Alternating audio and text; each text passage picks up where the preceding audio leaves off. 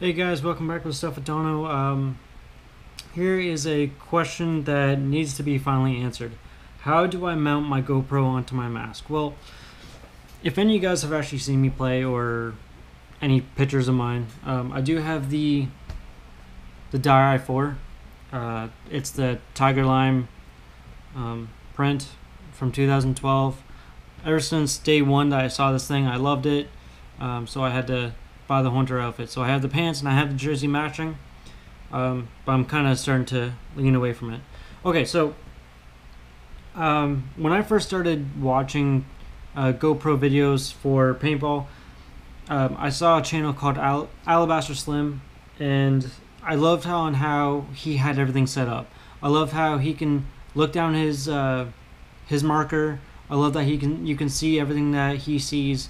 So I did a little bit of studying and try to find out on, on how he did it, and I found out that he uses a GoPro. So um, I did a little bit of research on what he uses as a mount, and I finally contacted uh, his buddy George.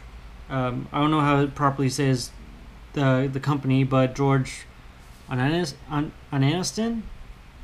Ananistan? I, I don't know. I'll put it in the description below to his website on how to order a mount. Uh, but his mounts are relatively cheap. They're about like 18, 20 shipped, paid, PayPal'd, everything. Like it's, it's phenomenal. Uh, it's very well built. It looks nice actually. Um, it looks when I first saw it, I actually thought it was like aluminum or metal, but what it is is 3D printing. So what it comes with is the actual mount itself, and underneath is well, let's see if I can get that. Underneath as well, under the the venting, it comes with two pieces. It comes with two screws and two nuts. But what it also comes with is like a uh, another nut. Uh, so when you actually screw it into the mount, it all locks up. So I'm going to show you guys exactly how I mount mine. And what you need is a 3 8 wrench, the case itself, and of course the GoPro.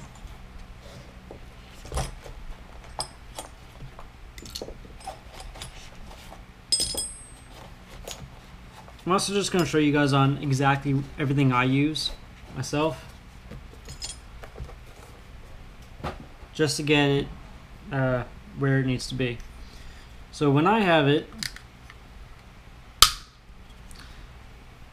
most people would actually have it. Let me just uh, kind of tilt the camera, tilt the camera up a bit. So when I how I how some people may have it is they kind of have it just above uh, their mask. How I actually have it is that it's in front of my eyes in a way. I can still see past it, but it's just kind of in my face. That way I can get that maximum um, visual on what you guys can see uh, through it through the camera. Um, so some things that I actually purchased besides the Aniston mount, you can kind of see. Hopefully you guys can see it. It says AE. Um, the mount also comes in different colors. It comes in white, green, red, yellow, blue. Uh, I got the black. Uh, that was the only option at the time. Uh, the only thing is, I've already asked him about the different colors, and he did say um, that if you buy the other colors, uh, they're not going to be as strong as the white or as the black. So that's why I'm going to stick with black. So this is something I got from Go Tough Gear. Um, it's like a, a little shark can opener or a bottle opener, and it has these little uh, this little hole so that it can actually fit into here, and you can actually tighten it a little bit better. So it's like a wrench. And here's the other nut that George provides for you. Just goes on the other end. Okay, so I'm going to tear everything apart. This might be a few minute video, and I do apologize if it's a little bit long, but it will definitely answer a question that a lot of people ask me. And it's not that I'm getting tired of it, it's just it helps you guys a little bit more. So the first bit is I use a long piece and oh crap, it's broken. Guess I'll have to get another one. I, I use a longer piece and it goes kind of like a uh, a different not angle but it goes on a different uh, slant. So then I'll grab the where is it? Yep. Use the counter bit. Slide it in there. This thing is also very dirty. And I use a small screw. There goes that just came out go, just pop that back in. Alright, and then I'll just screw that on. Use my little wrench. Make it nice and tight just so it doesn't move on you. And then what I'll do, make sure it's straight as well. So it's nice and straight. You can see that it's completely connected, so it's like male, female, straight. And now I'll put it onto the, the Uniston mount. I use another small one. Unfortunately, this uh, mount accidentally broke. But I've had this thing for about a year, and it still works. It's, I'm still using it to this day. So the fact that I've been using it for a year, and I have been shot quite a few times with this thing in the face, I'm actually quite surprised it not, has not shattered. So honestly, 10 out of 10 for this mount. Thank you very much, George, if you ever watch this. Guess I'll find. Where did I put it? Alright, well, I just lost it. Oh, I've already put it on. Duh. So then I'll use my wrench.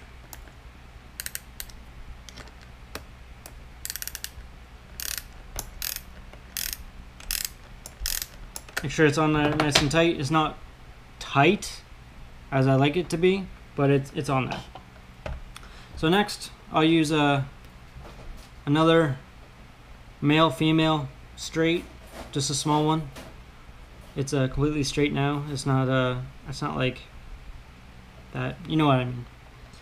And I'll put that down on there. Use another small. These come in like different colors too. Like they come in black, yellow, red, blue, green,